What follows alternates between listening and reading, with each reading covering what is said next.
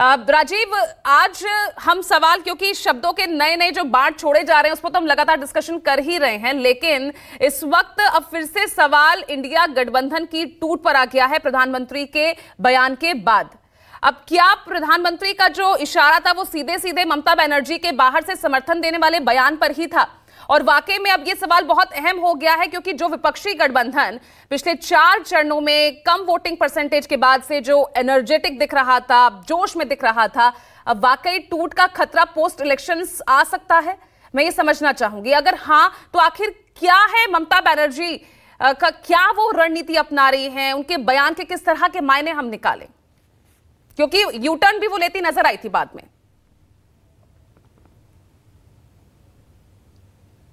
ये सब चुनाव जैसे जैसे आगे बढ़ता जाता है, ये सब नेताओं की इस तरीके से बातें आती रहती हैं।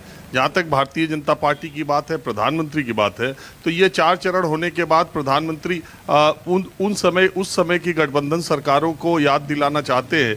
वो बात ये बताना चाहते हैं कि बहुत सारे लोग मिलकर के जब सरकार बनाते हैं तो कैसे फिर टूट इस देश में कितने गठबंधन टूटे हैं कितनी सरकारें गिरी हैं? और दूसरी तरफ़ भारतीय जनता पार्टी ने पूर्ण बहुमत की सरकार दी और उसमें देश में एक स्थिरता का माहौल आया। तो वो ये आ, कोशिश खत्म बताने की कि ये तो आपस में लड़ते रहते हैं तो खटाखट वो नती चार जून के बाद अलग हो जाएँगे। चल हो जा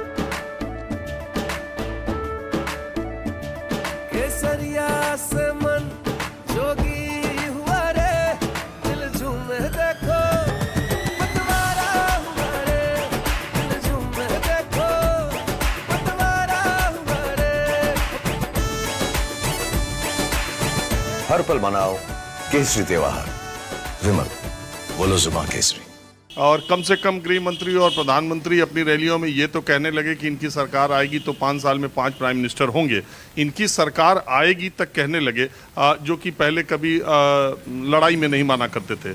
तो ये मैंने आपको पिछली बार भी कहा था कि चुनाव शुरू होने के दो महीने पहले तक देश में एक तरफा चुनाव दिखाई दे रहा था।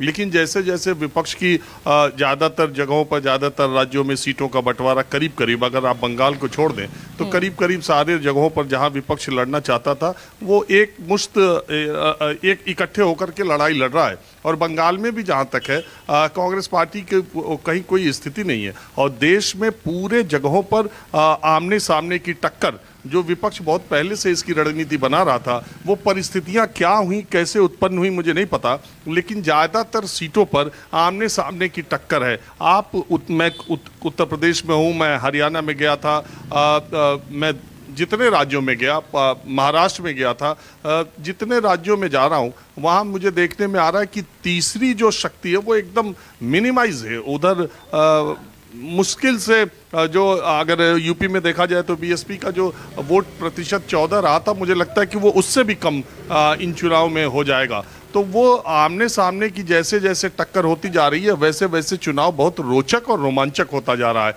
और इसीलिए इंडिया गठबंधन अब राहुल गांधी का खटाखट खटाखट वाला बयान अगर प्रधानमंत्री भी खटाखट खटाखट कहने लगे तो अब वो खटाखट और गारंटी और ये सब चीज़ों पर चुनाव धीरे धीरे आ रहा है। और जहाँ तक उत्तर प्रदेश की ये इकतालीस सीटें हैं, इन इकतालीस सीटों में विपक्ष और बीजेपी के बीच बहुत तगड़ा घमासान है। यहाँ से लेकर के, मैं जहाँ लखनऊ में खड़ा हूँ, यहाँ से लेकर के बिहार के बॉर्डर तक, ये सारी सीटों पर चुनाव होना है। पिछले दो चुनाव में यहाँ पर विपक्ष ने बहुत अच्छा प्रदर्शन किया। है तो एक ताकत एक और दूसरी बात जैसे कि लग रहा था कि विपक्ष के पास कौन सी ताकत है और आ, कौन सा मॉरल बुस्टअप के साथ ये 2024 के चुनाव में जाएँगे जब प्रधानमंत्री का 10 साल उनकी लोकप्रियता उनका संगठन इतनी बड़ी पार्टी सब कुछ उनके पक्ष में था।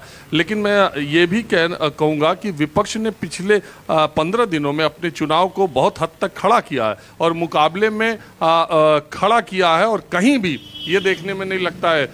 हार जीत का अंतर कम होगा सीटें कम होंगी वो तो चार तारीख को पता चलेगा लेकिन चुनाव का रोमांच और विपक्ष की ताकत लगाना आ, आ, पूरे ज़ोर के साथ चुनाव लड़ना।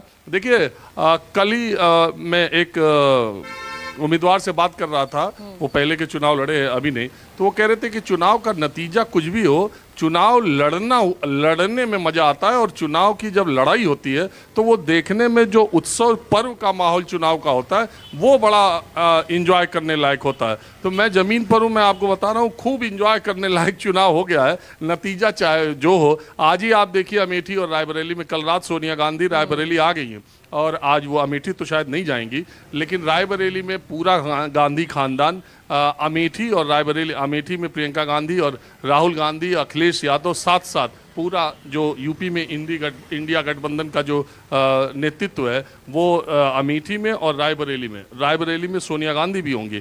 तो पूरी ताकत कांग्रेस पार्टी ने अमेठी और रायबरेली में लगाई है।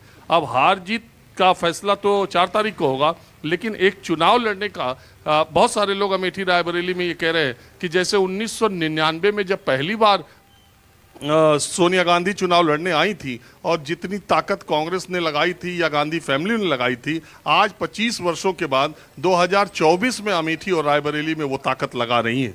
तो नतीजा चाहे जो हो, दोनों तरफ़ से, अभी आप देखिए, अमेठी में आज गृह मंत्री अमित शाह आ रहे हैं, मुख्यमंत्री आदित्यनाथ किसी एक लोकसभा सीट पर तीन बार लगातार गए तो अमेठी गए। तो इस तरीके से ये पूरा जो चुनाव है, वो बहुत रोमांचक मोड़ पर पहुँच गया है। अब इसमें किस तरफ़ पलड़ा भारी होगा? अभी बहुत सारी सीटें बाकी हैं और जिन सीटों पर अभी चुनाव होना है हम्म। वहाँ भी पश्चिम बंगाल का जो मामला है ममता बनर्जी ने इस पूरी लड़ाई को आमने सामने में तब्दील कर दिया है। तीसरा पक्ष कम्युनिस्ट और कांग्रेस वहाँ साफ़ है।